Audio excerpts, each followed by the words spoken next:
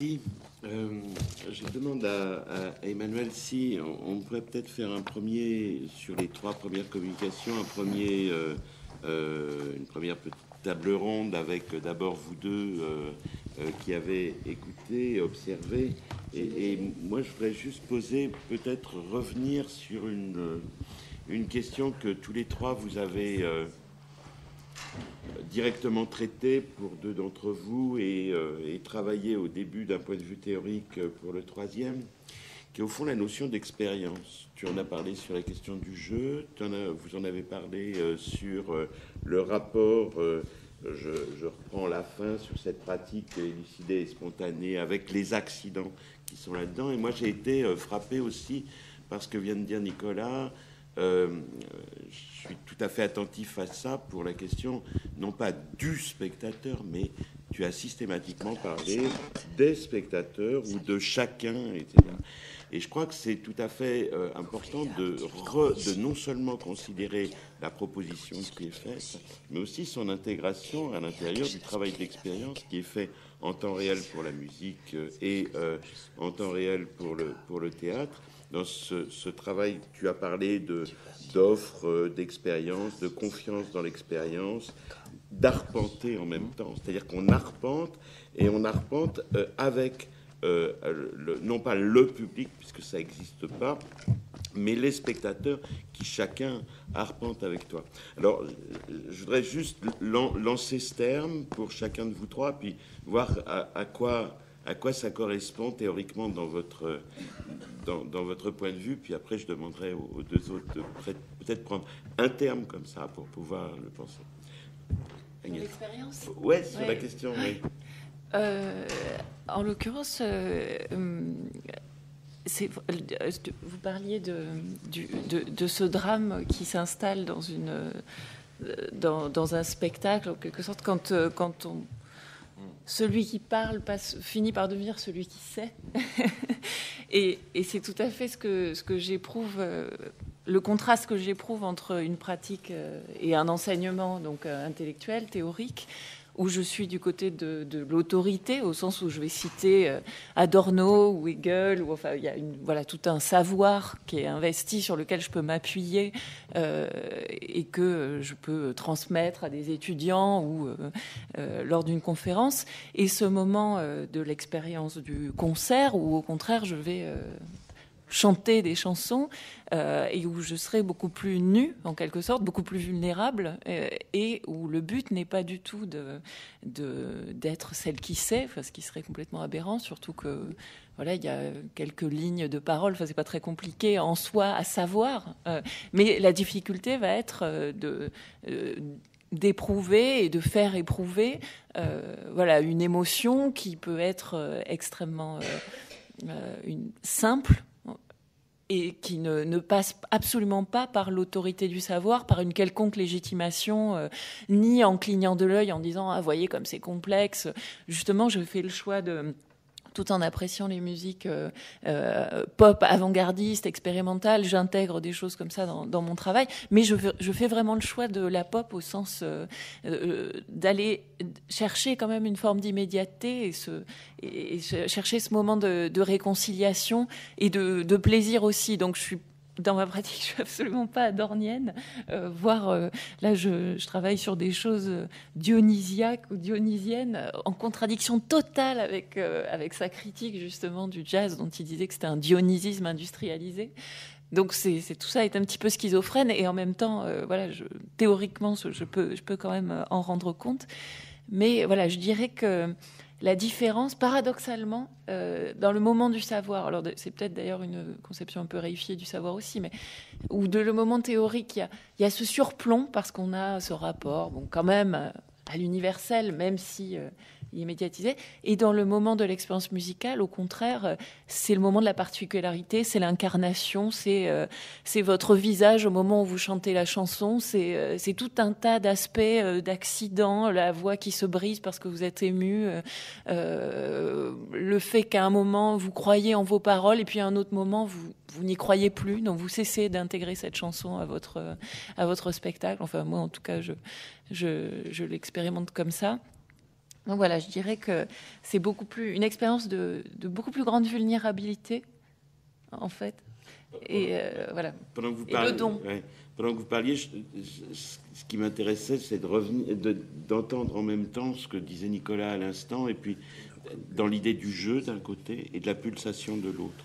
C'est-à-dire qu'il y aurait quelque chose dans, dans, ce que vous venez de définir entre une pulsation euh, euh, euh, adornienne et, une pulsation de la performance, si je puis dire. C'est-à-dire que dans cet entre-deux-là, et c'est pas la seule, c'est-à-dire de la même manière, dans ce que dit Nicolas, c'est qu'il y a du jeu, alors du jeu ludique, mais en même temps du jeu entre les pièces. C'est-à-dire c'est ce qui empêche que ça coince, euh, ou que la théorie coince, ou que la pratique toute seule coince, qui est du jeu entre les deux, et c'est peut-être à la fois une apparente naïveté, peu importe, en tout cas quelque chose qui permet justement d'arpenter. Voilà. Euh, comment vous traduisez ça, euh, Stéphane, sur le plan théorique bah, Déjà, l'expérience des, des arts plastiques ou des arts visuels est un tout petit peu différent, comme j'ai essayé euh, de l'évoquer, à savoir que euh, l'art s'est un peu arraché euh, à lui-même pour confondre avec la, la, réalité non artistique de façon à ne plus en être facile à, distinguer. Et c'est pour ça, pour le traduire en d'autres termes, j'ai dit qu'aujourd'hui, nous avons affaire à un art qui passe à l'échelle 1, c'est-à-dire à la fois la chose, et la proposition de la chose. Euh, c'est une sorte de, théâtre, si on veut, mais complètement décadré, euh, qui se déploie euh, sans, sans la mise en place d'un cadre quelconque. Alors, c'est à ce moment-là, donc ça, jusque-là, nous avons besoin évidemment d'une sorte de, supplément théorique pour pouvoir distinguer ou pas une situation ayant un fort coefficient d'art d'une situation qui, où le coefficient d'art est, faible, voire négligeable. Mais après, c'est la question de l'expérience esthétique qui devient primordiale, parce que dès lors que ce complément d'information est en place, et nous, et nous nous disons, ah bah tiens, je ne savais même pas qu'il s'agissait d'une proposition artistique, il se passe quelque chose. C'est-à-dire que rien ne change dans les propriétés euh, physiques, perceptuelles euh, de la proposition, et pourtant, rien ne saurait être plus différent. Hein. Nous sommes euh, et donc, moi, je ne l'ai pas évoqué, mais je pense que c'est quelque chose qui change dans l'allure de la proposition. Alors, parfois, ça se passe par une, déception, c'est-à-dire qu'on est déçu d'apprendre que ce formidable archive en ligne, qui, avec 50 000 ouvrages, etc., n'est pas simplement quelque chose ayant une très forte valeur d'usage, euh, mais est conçu comme une proposition euh, artistique. Mais on ne peut pas dire que c'est exactement la même chose quand on, l'apprend. Euh, et dans d'autres occasions, on se dit, ah bah tiens, c'est pour ça que ça répond tout de même à une certaine attente d'expérience esthétique. C'est, je pense que pour certains, ce changement de paradigme, ce passage à l'échelle 1 qui renonce en fait à, à l'appareil et d'encadrement à une certaine, euh, donc au cadre performatif, euh, est, un moment, euh, pour employer le terme d'Adorno, insupportable, dangereux. Mais en même temps, je forcé de constater que de plus en plus de, praticiens opèrent en ce sens et au lieu de produire des, propositions ou, des expériences esthétiques propres, euh, préfère injecter ses compétences euh, dans, des, activités les plus diverses euh, pour, non pas pour embellir ou orner, mais plutôt pour les, les, énergiser autrement. C'est intéressant parce que d'une certaine manière, avec les deux dernières communications, celle d'Agnès euh, et, de Nicolas, on est passé, puisqu'on parle du corps, à l'échelle 1. C'est-à-dire qu'on ne peut pas faire autrement. Euh, on ne peut pas se rapetisser, euh, sauf avec Alice, mais, mais, mais, mais, là, aussi bien dans la performance chantée que dans la performance physique du comédien, on est sur cette échelle 1. De la même manière, dans les arts plastiques, avec le système des installations et autres performances, là aussi, on n'intègre plus la représentation, etc. Mais à nouveau, cette idée de, de, jouer une vie en train de se faire euh, à proprement parler. Nicolas, sur, la question d'expérience. Sur la question de l'expérience, oui, c'est ce que je disais, c'est-à-dire que euh, l'expérience, je la relie évidemment à, la transmission, c'est-à-dire que le, pour moi, la parole critique, quelle qu'elle soit, y compris chez Adorno, euh, justement, si, si, si, on la travaille sur, sur une scène de théâtre, il faut absolument la débarrasser de son surplomb, c'est-à-dire qu'il faut la, il faut arriver à la transmettre. Pour qu'elle soit transmissible, il faut, il faut saisir dans cette parole, et ce n'est pas, pas dans toutes les paroles, le noyau de l'expérience qui est, qui, est, qui est en train d'être faite à travers l'écriture, ou à travers le film, ou à travers la musique, si ça passe par ces médias-là. Mais je, je, je, suis en tout cas très attentif à ce noyau-là de l'expérience. Si quelqu'un me parle de quelque chose et que je vois que c'est... Euh, c'est qu'il aurait pu me parler d'autre chose aussi brillamment, euh, de la façon la, plus brillante qui soit, ça m'intéresse pas. J'aime essayer de débusquer à l'intérieur où est la personne qui parle.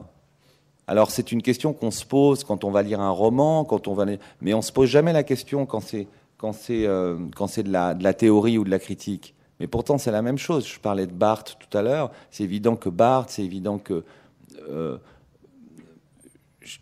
voilà, c'est des gens qui sont en recherche de quelque chose, donc qui, font l'expérience d'une chose. C'est cette expérience qu'on peut ensuite retransmettre aux gens. Parfois, c'est très difficile parce qu'évidemment, c'est une pensée. Si on met Adorno sur une scène, si on met culture-industrie sur une scène, bon, bah, il va y avoir un travail énorme à faire sur l'idée de surtout d'enlever le surplomb, d'enlever le surplomb, c'est-à-dire de, et, c'est à l'intérieur de ça, de ce travail-là, qu'on est, qu'on est, euh, qu'on est obligé d'arpenter une pensée pour pouvoir la, la, transmettre, donc de trouver sa capacité joueuse, je dirais, et, ludique dans le bon sens du terme. Ça n'enlève pas la, la, la, gravité ou je sais pas quoi. Hein.